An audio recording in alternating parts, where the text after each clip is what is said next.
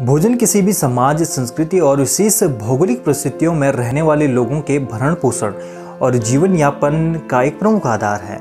और इन्हीं विषम भौगोलिक परिस्थितियों में जो उगने वाले अनाज हैं, यहाँ के विशिष्ट व्यंजनों के पौष्टिकता के साथ साथ उसके स्वाद को भी लजीज बनाते हैं। यही कारण है कि उत्तराखंड भी अपने प्राकृतिक सौंदर्य के अलावा यहाँ के पौष्टिक व्यंजनों के लिए भी जाना जाता है। और उत्तराखंड के इन्हीं पारंपरिक भोजन और यहाँ मौजूद जो सुदूरवर्ती पहाड़ी इलाकों की जो संस्कृति हैं, ये भोजन यहाँ के रहन सहन और यहाँ के खान पान को दर्शाते हैं। वैसे तो उत्तराखंड के जो दोनों मंडल यानी कुमाऊँ और गढ़वाल में कुछ जो भोजन में है, वो भिन्नता दिखाई देती है, लेकिन बहुत से ऐसे भोजन हैं जो एक समान ही हैं। यहाँ मौजूद जो भोजन है, वो मौसम के आधार पर होते हैं। जैसे तिल के लड्डू होते हैं, मंडवे की रोटी होती है, ये हम सर्दियों में खाते हैं। वहीं छाछ, जंगोरा, ये गर्मियों में खाए जाते हैं। तो यहाँ उगने वाले जो भोजन हैं, उनके बारे में आज हम आपको विस्तृत जानकारी देंगे, जिसमें शामिल है आपके गढ़वाली व्यंजन, जैसे चौंसा, झोली, गहत के पराठे फाणू काफुली, भिवाणी और कुमाऊँ के जैसे आलू, गुटके, डबके थतवाणी, काफा, चुटकनी, जोला सिसकुणु साग आदि जो आम जन जीवन में हम खाते ही रहते हैं। इसके अलावा यहाँ जो स्वीट डिश की अगर बात करें तो उनमें शामिल जैसे सिंगोड़ी, बाल मिठाई, आटे की खीर, झंगूरी की खीर, चमचूड़ा आदि इनके बारे में भी आज हम आपको विस्तृत तौर पर जानकारी देंगे। तो शुरू करते हैं इस वीडियो को।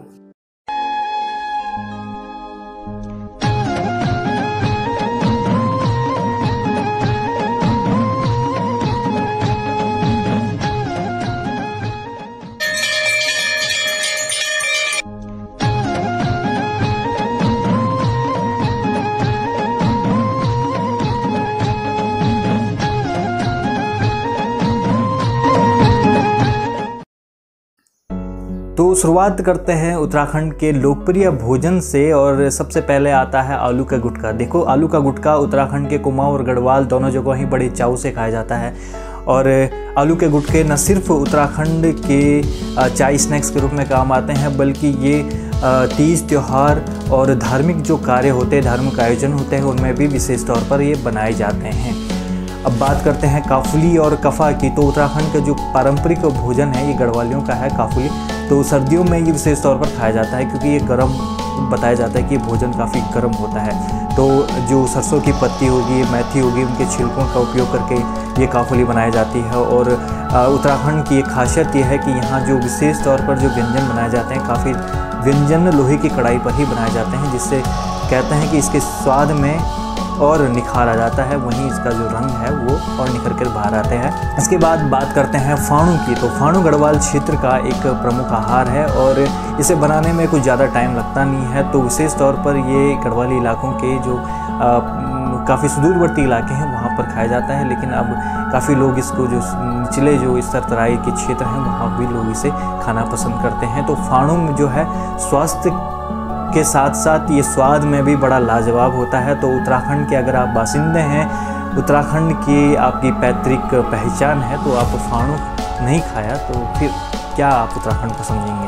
फानू के बाद बात करते हैं गहत के पराठे, और ये काफ़ी विशेष तौर पर ये खाया जाता है और काफ़ी लोग इसे पसंद करते हैं, क्योंकि ये न सिर्फ़ स्वाद में काफ़ी लजीज है, बल्कि स्वास्थ्य के लिए भी काफ़ी पौष्टिक है, और गहत जिसे गौथ भी कहते हैं, काफ़ी इलाकों में इसे चाय के साथ खाया जाता है। गहत को रात भर भिगा कर और फिर उसमें मसाला मिलाकर उसे बारीक पीस लिया जाता है, उसके बाद इसे रोटियों के अंदर जो मंडवे बेसिकली होती है, उसको अंदर भर कर ये कहत के ये पराठे बनाए जाते हैं। कई इलाकों में इसे घी के साथ सर्व भी करते हैं। घी के साथ इसके ऊपर जो कोटिंग करते हैं तो पराठे के रूप में भी इसका इस्तेमाल होता है और जो अचार, घी, इसी के साथ भी लोग खाने से पसंद करते हैं। इसके बाद बात करते हैं कोदे की रोटी की, और ये विशेष तरह पहचान है गढ़वाली और कुमाऊँ की, उत्तराखंड की, विशेष तौर पर ये पहचान है। कोदा यानी मंडुआ और उत्तराखंड के कई इलाकों में इसे खाया जाता है, विशेषकर सर्दियों में इसे खाते हैं लोग लजीज तौर पर, और कहते हैं कि इसे लोग मक्खन, घी वगैरह मंडवे के साथ खाते हैं, और काफ़ी स्वादिष्ट होता है। कई लोग इसे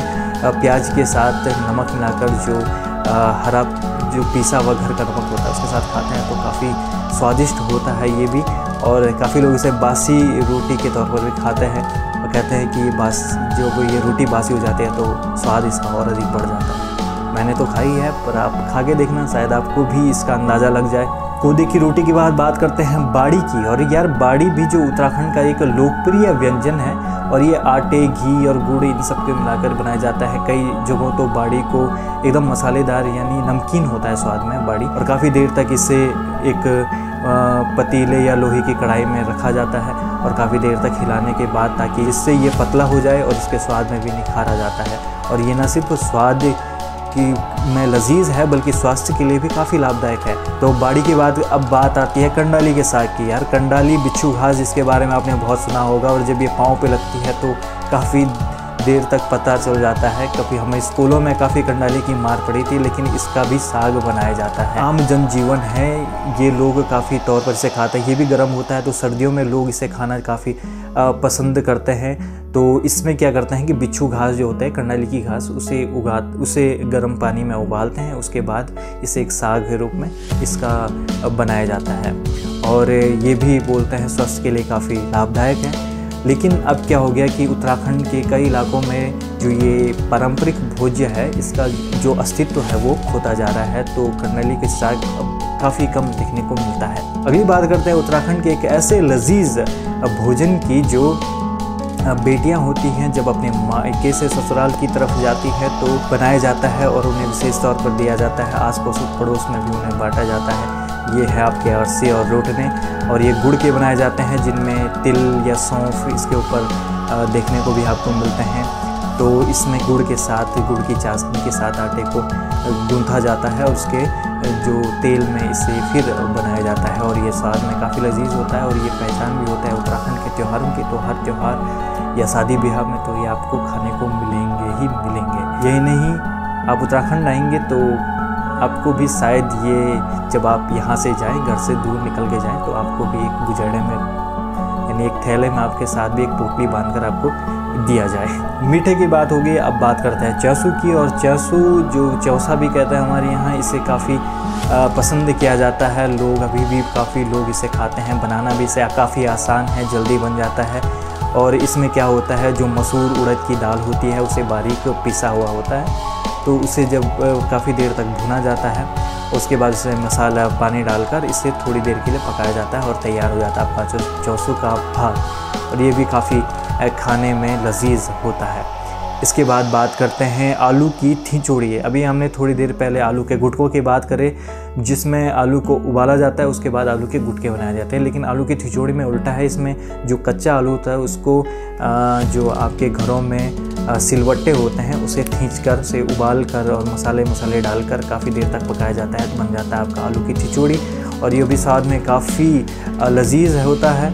और काफ़ी उत्तराखंड के लोग अभी भी इसे खाते हैं। तो आप जब उत्तराखंड आए तो इसका मन हो तो आलू की खिचड़ी भी आप खा सकते हैं। इसके बाद बात करते हैं, देखो रोटने और आरसे की बात बात करी तो और गुलगुलों की बात ना हो, यानी जो आपके केले से बनाए जाते हैं, गुलगुले मीठे होते हैं स्वाद में। और ये भी जो तीज त्यौहार या कोई धार्मिक आयोजन होता है, विशेष तौर पर इससे बनाया जाता है। और ये रोकने के साथ इन्हें भी परोसा जाता है और इन्हें भी दिया जाता है। तो इसके बाद बात करते हैं दाल के पकौड़ों की। तो दाल के पकौड़ों का जो उत्तराखंड की संस्कृति, समाज और त्यौहार में काफ़ी विशेष महत्व है और बिना त्यौहार, बिना दाल के पकौड़े का उत्तराखंड का कोई त्यौहार सुना सुना माना जाता है। तो इसे काफ़ी पसंद किया जाता है और आपको अभी भी इस उत्तराखंड के कई इलाकों में इसे देखने को मिलेगा। हमारे घरों में भी इसे काफ़ी बनाया जाता है।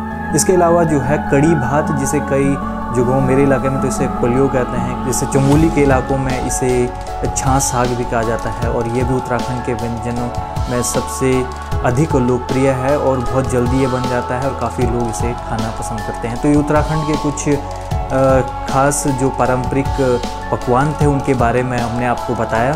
और अगली जो वीडियोस होगी, कोशिश करेंगे कि आपको जो ये पकवान है, उन्हें बनाकर एक बार वीडियो के माध्यम से दिखाई भी दिए कि कैसे इन्हें बनाया जाता है और कैसे इनका स्वाद होता है बनाकर आपको वीडियो के माध्यम से बताया जाएगा। तो ये थे उत्तराखंड के पकवान। उत्तराखंड और उत्तराखंड की संस्कृति से जुड़ने के लिए आप हमारे यूट्यूब चैनल को सब्सक्राइब करना ना भूलें। जुड़े भी गढ़वाली से जुड़े अपनी संस्कृति से।